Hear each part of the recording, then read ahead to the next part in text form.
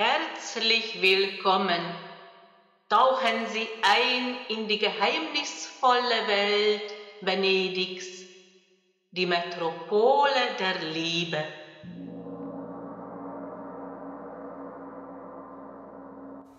Wochenende Liebesorakel am 16., 17. und 18. Februar 2018. Freitag, Samstag, Sonntag. Freitag. Das ist die Energie am Freitag. Die erste Karte bedeutet Träume. Es kann passieren, dass ihr eine wichtige Traum als Botschaft bekommt. Also achtet auf die Traumbilder.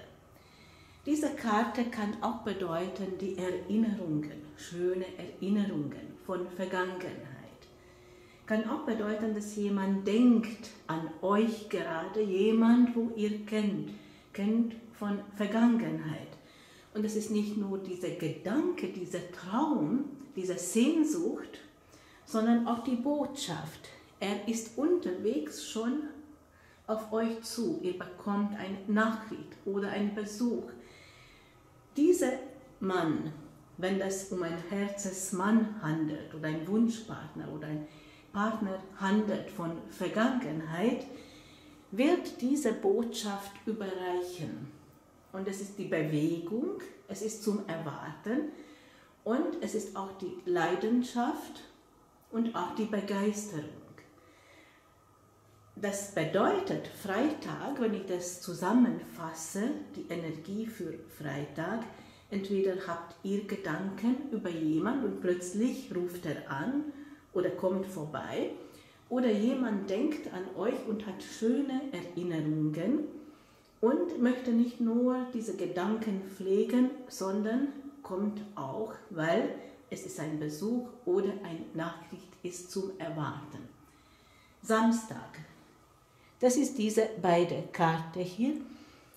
Samstag wird Klarheit kommen und wird auch eine klare Entscheidung treffen.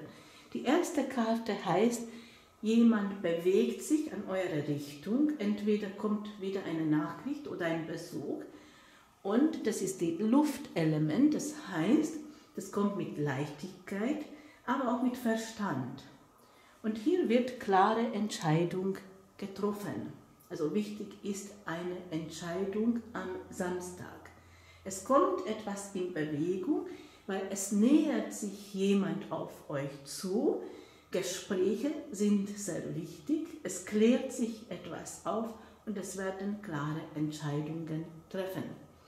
Sonntag, das ist diese beide Karte hier, die Heiligtum bedeutet entweder ihr sucht die Stille oder ihr sucht die Verbindung zum Engel oder zum Gott oder Ihr sucht einen heiligen Ort auf, weil ihr braucht diese innere Ruhe, diese Harmonie.